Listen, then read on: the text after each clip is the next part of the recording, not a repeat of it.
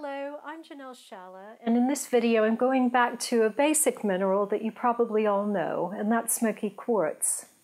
Smoky quartz obviously is a quartz. It has included aluminium, or the aluminum for you guys on the other side of the pond, that when it's exposed to low-level gamma radiation that occurs naturally in the Earth's crust as it's forming, it turns the aluminium opaque, so it absorbs light and it ends up having this smoky quality.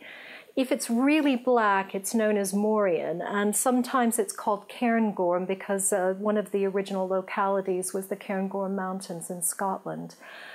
Um, it's also occasionally, I don't think people are doing this much anymore because of trading standards, but it used to be sold as smoky topaz to, when it was sold as jewelry to try to make it look a little bit more, sound a little bit more kind of exotic, you know. So, smoky quartz, what does it do? Before I start talking about it, let me show you one. This is a um, this is a little double terminated crystal that comes from Morella in Australia. Very sweet little crystal. It looks to me like an elestial, but I'm told it probably isn't. We use smoky quartz for grounding and protection. It's very good to gently ground a person, especially if it's somebody who has difficulty kind of uh, climatizing to something that's more strong, more powerful, like, say, black tourmaline, or something that's more confining, like uh, a cube of pyrite, which can be very, very grounding, but it can make some people feel extremely uncomfortable. Smoky quartz is really gentle. It's got a really soothing, sweet, gentle energy.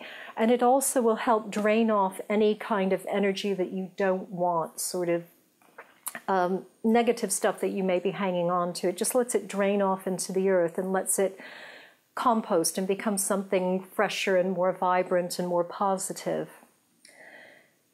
This lovely double terminated, sorry, not double terminated, this lovely twin crystal comes from China.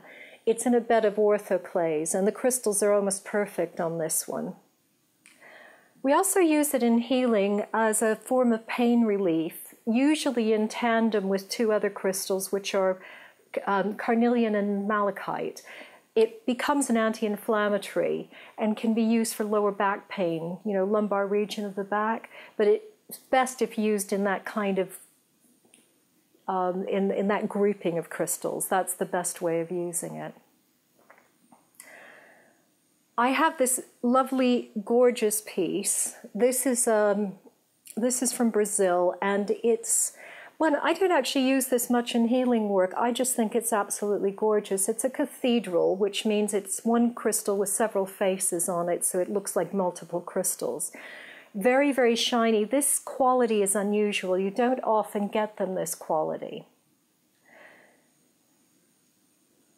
One of the other things we use it for dissipating electromagnetic radiation. So you can place smoky quartz in front of a computer, in front of a TV monitor, something like that, and that will help you to um, protect yourself. It's not one of the first ones I go for for this purpose, but a lot of people use it like that. I'm going to share with you, this is one of my personal crystals here. This is a, um, this is, I don't even know where it's from. I just picked it up in a, out of a cardboard box full of a lot of dusty crystals in, a, in the back of a, one of those old fashioned rock shops many years ago. I use it a lot in my healing work. It's particularly good for keeping clients grounded when they come in and they're really having trouble staying in their body. I tend to use it between the ankles pointing downwards. But um, I do know other people, other practitioners who use smoky quartz in the same way, but they'll use a point of this kind of size, pointing downwards but underneath the treatment table. It's just another way of working.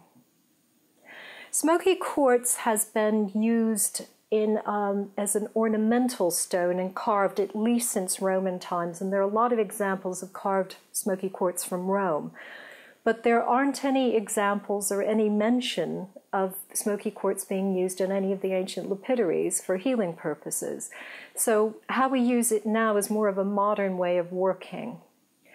But smoky quartz is carved a lot these days. it's not very easy to get hold of, and the pieces you get will be quite expensive. This is a lovely sphere of smoky quartz. Now, one of the other things that smoky quartz does, and this is something I've only really become aware of recently, but it has a connection with the ancestors. So, if you're trying to work with ancestral energy, it's a really good one to sit with in meditation. And finally, I want to show you this exquisite piece. This is a really large polished point, so this would be known as a prism. They're not that easy to get hold of any longer, but they are around. You still can get hold of pieces like this. It's the kind of piece you'd normally put on an altar. And one of the other things, this one kind of shows you another aspect or another quality of the mineralogy of smoky quartz, which is it's dichroic.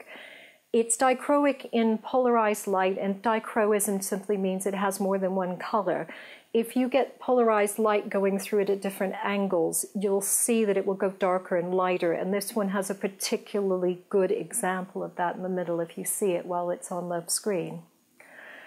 I really love it. I think smoky quartz is a must have for your crystal medicine chest.